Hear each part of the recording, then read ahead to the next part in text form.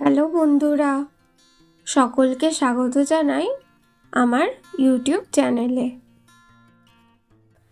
আজ আমি আপনাদের ম্যাগি দিয়ে একটা রেসিপি বানিয়ে দেখাবো। সবজি এবং ডিম দিয়ে তৈরি এই ম্যাগির রেসিপিটা বিশেষ করে বাচ্চাদের জন্য খুবই ভালো। এটা খেতে খুবই সুস্বাদু হওয়ায় বাচ্চারা সহজেই খেয়ে নেয় এবং তার সাথে সাথে বাচ্চাদের শরীরে প্রয়োজনীয় পুষ্টিগুলো এই খাবারের মধ্য দিয়ে চলে যায়।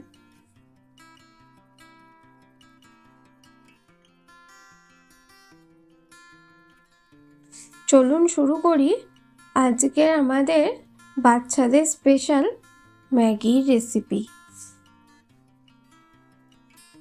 প্রথমে কড়াতে একদম সামান্য তেল গরম হতে দিয়েছি। তারপর একদম ছোট ছোট করে কেটে রাখা সবজিগুলো পরপর দিয়ে দেব। আগে থেকে সরু সরু লম্বা লম্বা করে কেটে রাখা রসুন দিয়ে দেব। তেল থেকে রসুনের সামান্য গন্ধ বেরোতে শুরু করলে প্রথমে কেটে রাখা ফুলকপি দিয়ে দেব। কিছুক্ষণ ভালোভাবে নেড়ে নেওয়ার পর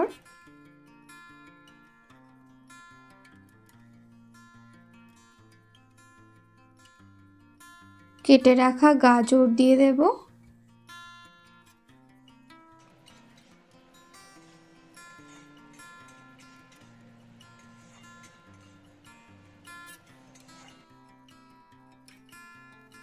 এবার কেটে রাখা পেঁয়াজ কলি দিয়ে দেব।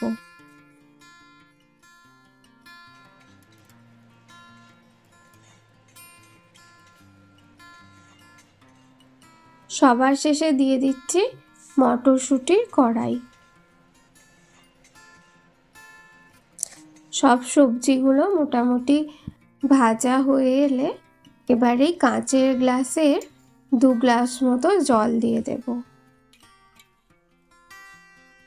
এখানে আমি একজনের খাবার মতো ম্যাগিটা বানাচ্ছি, তাই তিনটে ছোট ম্যাগির প্যাকেট নিয়ে নিয়েছি। জলটা সামান্য ফুটতে শুরু করলে তিনটে ম্যাগি দিয়ে দেব।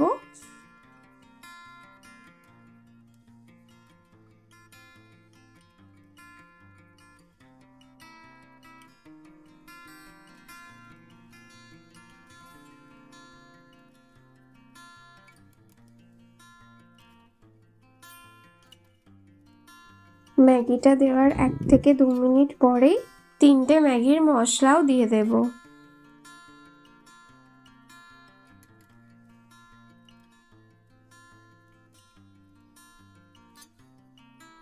ম্যাগির মশলাগুলো ভালোভাবে মিক্স করে নেব।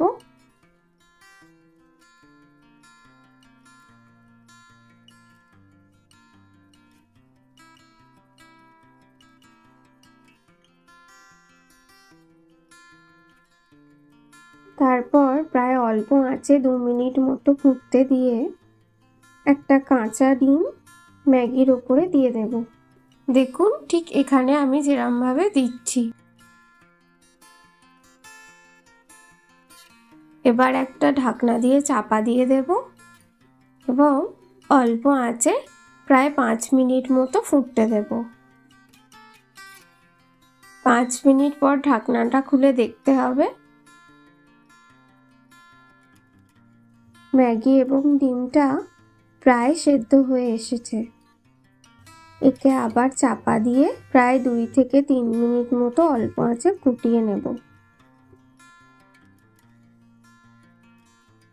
এতে একের চার চামচ মতো নুন ছড়িয়ে দিয়ে ভালোভাবে মিশিয়ে নেব। এবং গ্যাসটা অফ করে দেবো। দেখুন, ম্যাগি এবং ডিমটা খুব ভালোভাবে সেদ্ধ হয়ে গেছে। সামান্য গোলমরিচ গুঁড়ো ছড়িয়ে দেব, যাতে টেস্টটা আরও ভালো হয়।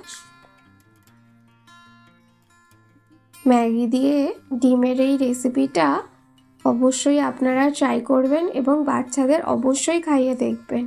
আশা করছি বাচ্চাদের এটা খুবই ভালো লাগবে। এবং তার সাথে সাথে কম তেলে তৈরি হওয়ায় বাচ্চাদের এবং বড়দের সকলেরই হেলথের জন্য এটা খুবই ভালো। আমার এই রান্নাটা ভালো লেগে থাকলে অবশ্যই আমাকে কমেন্ট করে জানাবেন।